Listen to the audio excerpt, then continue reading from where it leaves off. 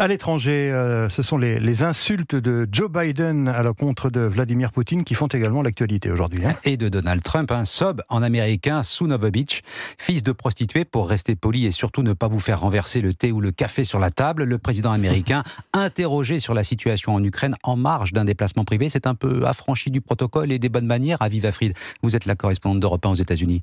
Oui, euh, quand il est loin des caméras, le président américain a la réputation d'avoir l'insulte facile. En 2022, il avait par exemple traité un journaliste de Fox News d'espèce de connard.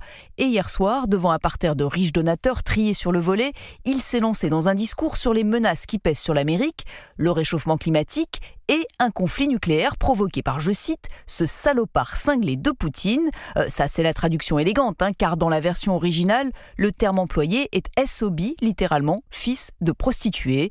On est loin du langage diplomatique habituel, mais avec la mort d'Alexei Navalny, une étape supplémentaire a été franchie. Euh, Joe Biden doit d'ailleurs dévoiler demain toute une gamme de nouvelles sanctions à l'encontre de la Russie, euh, qui devrait viser son industrie d'armement et les sources de revenus de son économie.